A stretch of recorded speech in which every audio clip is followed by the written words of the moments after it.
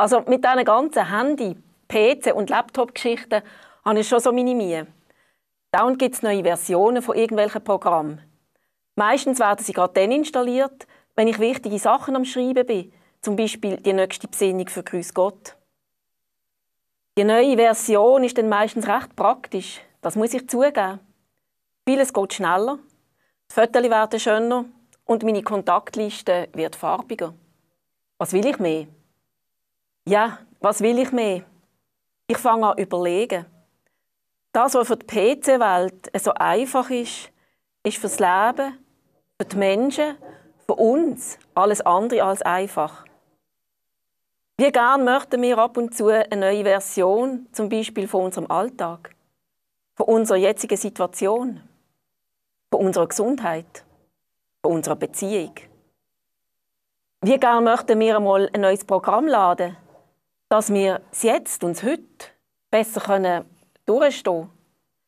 Dass wir ein bisschen leichtfüßiger können durch die Welt gehen Dass wir uns ab und zu wieder mal etwas leisten können, ohne Wenn und Aber. Oder mal einen grösseren Ausflug machen. Solche Programme kann niemand kaufen, das wissen wir. Ein Wundertäter, was alles Mühsame auswechselt, gibt es auch nicht. Und dann war da noch das berühmte Zeichen vom Himmel, auf das wir so gern warten.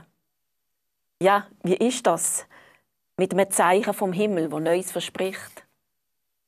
Im Alten Testament, in der Bibel, da sagt der Prophet Ezechiel den Menschen, Gott wird euch ein neues Herz und einen neuen Geist schenken. Er hat ihnen sozusagen eine neue Version zum Hoffnungsschöpfen angeboten. Da haben die Männer und die Frauen aufgelost. Das, was der hier sagt, ist also nicht nichts.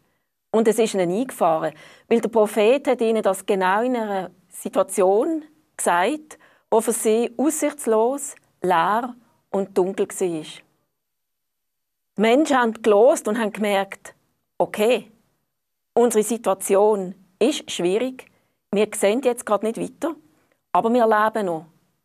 Unser Herz schlägt, unsere Sinne sind wach und unser Geist oder anders gesagt, unsere Gedanken können wir brauchen.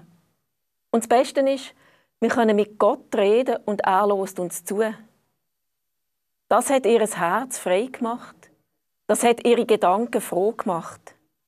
Und das ist wirklich nicht nichts. Die Version ist schlicht und einfach alles. Auch du kannst sie getrost in dein Leben laden. Weil sie beinhaltet alles, was Hoffnung gibt, was Mut macht, was heilt und was einem ein Lächeln ins Gesicht malt. Was wollen wir mehr?